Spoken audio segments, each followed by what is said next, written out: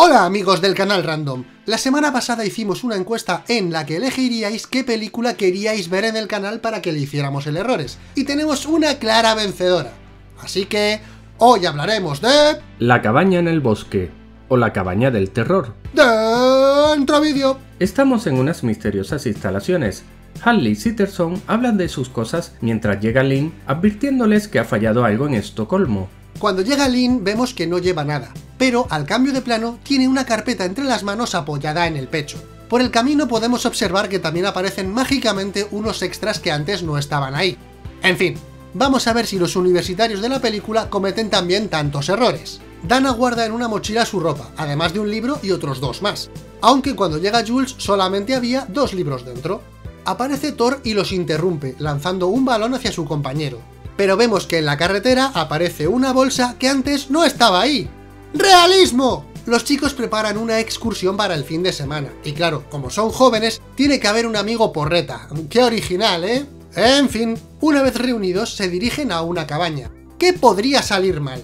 Hadley y Sitterson entran en la sala de control y conocen a Truman, que parece que es el agente designado para su seguridad, y el cual, no sabemos cómo, cerró la puerta cuando antes vimos que la había dejado abierta. Tras un encontronazo en la gasolinera con un gañán llamado Mordecai, los chavales siguen su camino hasta llegar a la ansiada cabaña en el bosque. Una vez allí, el sentido porrino de Marty parece advertirle de algo, pero da igual, los chavales se instalan. Resulta que están siendo observados desde la sala de control, y que Mordecai es parte de este complot.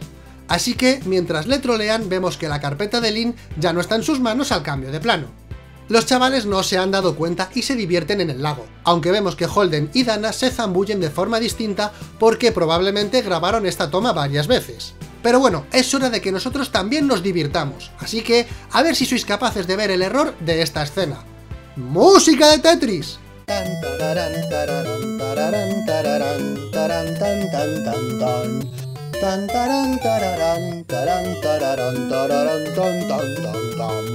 ¡Eso es! La toalla del porreta se teletransporta por efecto de los estupefacientes. Es que no me lo creo, tío. ¿Cómo es posible que lo hayan hecho tan mal? En la sala de control se realizan una serie de apuestas. Por lo visto, tienen que conseguir que los chicos lleguen hasta el sótano, y quien adivine qué monstruo van a liberar, se llevará toda la pasta. Vamos, que la vida de los chavales les importa una mierda. Mientras están de fiesta, vemos que hay cosas que aparecen de la nada, además de algunos errores en los cambios de plano pero de repente se abre la trampilla del sótano y llegan a la conclusión de que es por el viento. ¿Pero qué demonios me estás contando? ¿Qué ráfaga de viento va a abrir una trampilla? ¡Es, que es absurdo! Los chicos encuentran en el sótano una serie de objetos, cada uno de ellos invocará algún tipo de monstruo, aunque los chavales no lo saben, y Dana despierta a una familia de zombies al leer unas frases en latín. Algunos de los chavales se comportan de forma extraña, y Marty, gracias a su instinto de porreta, se da cuenta de que están siendo utilizados. Pero claro, ¿quién te va a hacer caso, alma de cántaro?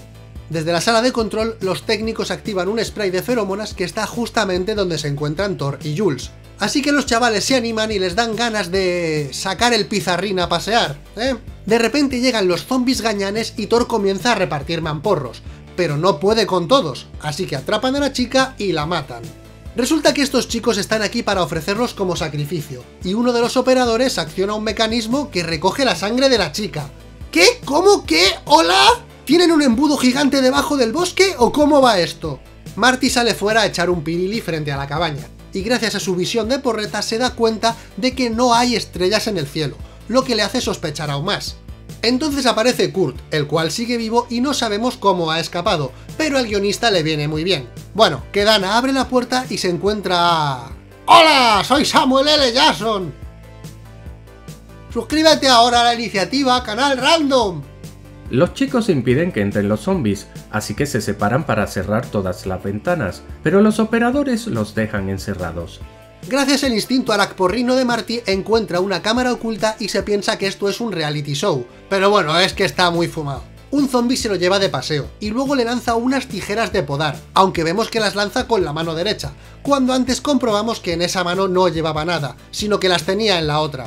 En fin, el zombie la agarra y le mata, así que el operador activa de nuevo otro mecanismo recogiendo así la sangre. Pero a ver, se supone que para los sacrificios lo suyo es ofrecer sangre pura, de vírgenes y esas cosas, pero es que le estáis mandando una sangre que va a dar positivo en todos los controles de droga. Dana y Holden bajan por una trampilla al sótano y... ¿Dónde están sus gafas? Si las llevaba puestas hace un momento. En fin, que consiguen salir de la casa con Kurt y se van en la autocaravana. En el resto de sedes internacionales donde se realizan sacrificios, los humanos están derrotando a los monstruos, así que la única oportunidad para satisfacer a los ancestros pasa por matar a los supervivientes de la cabaña, los cuales no pueden huir porque los operadores han hecho estallar el túnel. Parece que la única forma de llegar al otro lado es saltar, mientras vemos que Holden vuelve a llevar gafas, así que Kurt toma carrerilla, salta con la moto y... ¡Tortazo! Y de nuevo vemos que siguen recogiendo sangre, pero aún no sabemos cómo lo hacen. ¿Una explicación? ¿Para qué? El plan de Holden es ir con la autocaravana en busca de otra carretera, y si estuviera cortada, adentrarse en el bosque, pero sale mal. Para variar, vemos de nuevo a Holden sin gafas, y a pesar de que la furgoneta cae al lago, Dana consigue sobrevivir. Truman es nuevo, y es por ello que es el personaje al que le cuentan todo lo que pasa para que nosotros también lo sepamos le explican que no es necesario matar a Dana aunque sea la virgen del grupo, sino que solamente bastaba que sufriera mucho. Así que en el centro de mando montan una fiesta, pero una llamada de teléfono interrumpe la celebración. Resulta que el porreta estaba vivo, pero entonces, ¿qué demonios pasó con la sangre que recogieron? ¿De dónde salió? ¿Qué pasa, se puso a tirar de un padrastro y ya aprovecharon o cómo va esto? Marty encontró una trampilla donde hay un ascensor. ¿Que cómo lo encontró? Pues muy fácil, con su visión de rayos X de porreta, es que no os enteráis de nada. Durante su viaje en ascensor se topan con distintos monstruos. Un hombre lobo, un fantasma, un pinhead de AliExpress, etc. Por lo visto todos los chavales se comportaban de forma extraña porque los estaban manipulando con sustancias químicas. Pero a Marty no le afectaron porque sus drogas le inmunizaron. ¡Ojo al mensaje de la película, eh! En fin, que envían a los soldados, que se ponen a disparar. ¿Pero por qué disparan? ¿Qué clase de sacrificio es ese? ¿No se supone que tiene que morir el porreta antes que ella? Dana activa un pulsador liberando a todos los monstruos, acabando así con todos los soldados en unos segundos. Es curioso, atacan a los soldados pero no se atacan entre ellos. Se supone que algunos son bestias salvajes que no atienden a razones. Pero bueno, es su cultura y hay que respetarla. Aparece una de las zombies que invocó Dana, la cual no sabemos cómo ha llegado hasta aquí ya que antes vimos que para activarlo, Marty provocó un cortocircuito. Y no me imagino a esta zombie en plan electricista. Chapuzas 24 horas, te como el cerebro y te arreglo las bombillas. No, no queda bien. Los monstruos llegan hasta el centro de mando, y solamente consigue escapar de allí Sitterson, pero se topa con Dana, la cual mata al calvo malvado. Los chicos llegan al lugar del ritual, y aparece Sigourney Weaver, que es el personaje que nos ha puesto el guionista para atar los cabos sueltos. Resulta que cada uno de ellos está representado en el ritual. Tenemos a la pilingui, al deportista, al erudito, al loco y a la virgen. Por algún motivo no es necesario que la virgen muera, y si muere tiene que hacerlo en último lugar, si no, no funciona. Aunque bueno, Dana no es virgen y no pasa nada, eso da igual, ¿verdad? Aquí se siguen las reglas que os da la gana, como lo de la sangre del porreta. ¿Y si por algún motivo Dana hubiera muerto la primera? Es que esto hace aguas por todas partes. La directora les explica que quedan 8 minutos antes de que amanezca, y que el porreta tiene que morir para completar el ritual. Si no, los ancestros se levantarán y acabarán con la humanidad. Pero cuando Dana va a disparar a Marty, salvando así el mundo, aparece un hombre lobo que lo impide. ¡Vaya, qué casualidad! Aunque también es casualidad que cuando la directora va a matar al porreta, aparece la chica zombie y acaba con Ripley. En fin, que Dana y Marty esperan su muerte mientras se fuman un porrino y se despiertan los ancestros. Fin.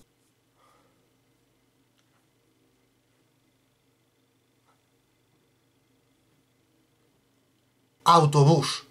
Este vídeo lo hemos montado en nuestro canal de Twitch, Pimpinelo Canal Random, en el cual editaremos cada semana el errores de películas de los sábados. Así que, si queréis saber cómo montamos nuestros vídeos, hacernos alguna pregunta, proponernos alguna película para hacerle errores o simplemente ver gameplays o hablar con nosotros, aquí os dejamos la programación semanal para que podáis pasaros a vernos y si os gusta podéis seguirnos, que también es gratis. Recordad que si os ha gustado el vídeo, dadle un like y si no conocías el canal, suscríbete ahora, que es gratis.